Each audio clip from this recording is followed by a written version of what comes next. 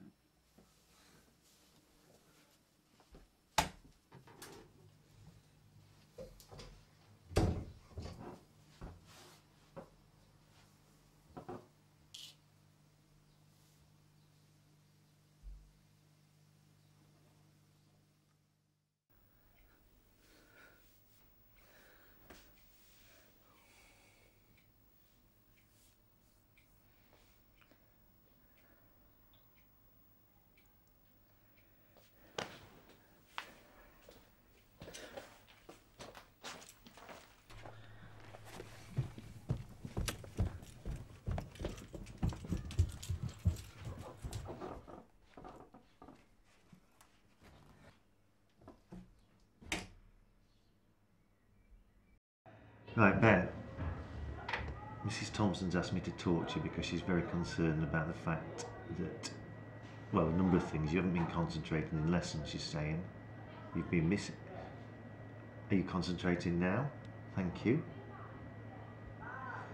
You haven't been concentrating in lessons, but I think the biggest, the most important thing is probably as, as a result of that is you're way behind with a number of homework essays with class.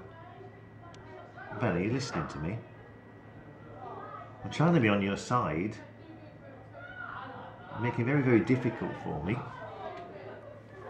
The bottom line is your coursework was due in last Friday. No, two Fridays ago. You haven't handed it in, you're three or four essays behind. You're supposed to be a top grade student and basically you're not achieving anything. Have you got any answers for me then?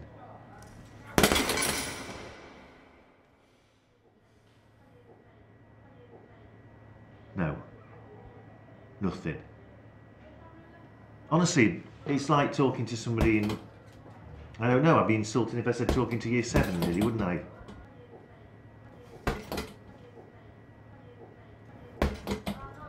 I'm trying to treat you as an adult, which is what you're supposed to be at this age. You've chosen to be in the sixth form. You've chosen to be here.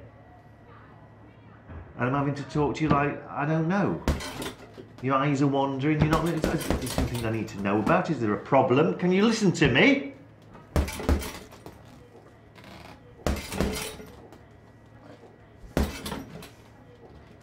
I'm wasting my time. And quite frankly, you're wasting everybody's time. And the, end result is going to be I'm going to have to take this a lot higher and you're going to be thrown out. So, ah. Ben! Thank you.